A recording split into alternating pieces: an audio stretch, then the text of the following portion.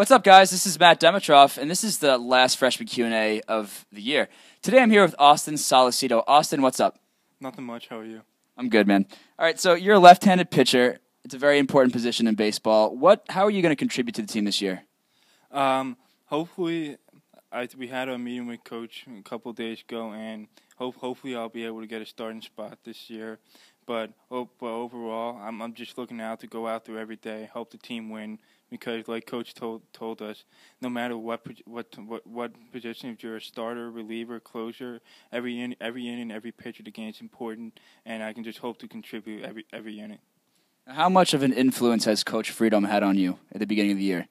Um, Coach Friedholm has been a good good influence. He's he's been making us work really hard, been making us do our running, do, doing everything, working with us on fine tuning our mechanics, and o- overall, I've been getting a lot better, and so I have the rest of the pitching staff.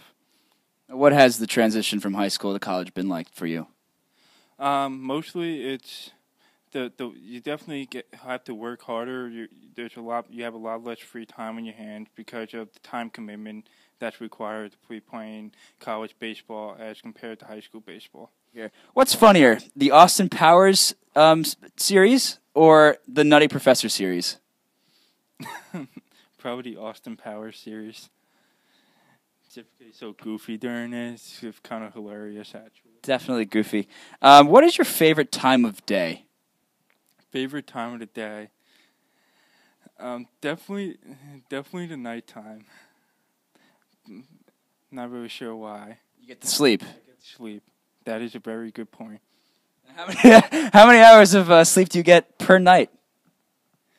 Uh, let's see. When we have to wake up at five o'clock in the morning for lifts, you get very little sleep.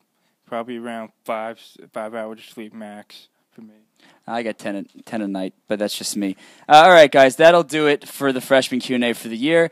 Um, come back next year. Hopefully we'll do the same thing. See ya.